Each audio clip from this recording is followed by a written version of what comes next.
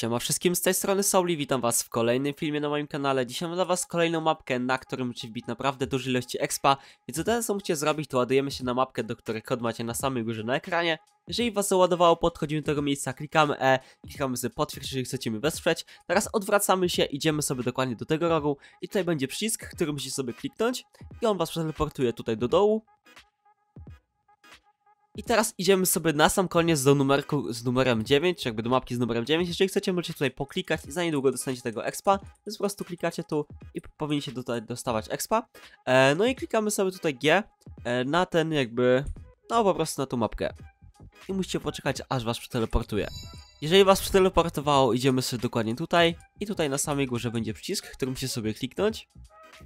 Teraz wyskoczy wam w tym miejscu kod i tutaj musicie wpisać 7 1 i 5. W tym miejscu potwierdzamy to, co wpisaliśmy.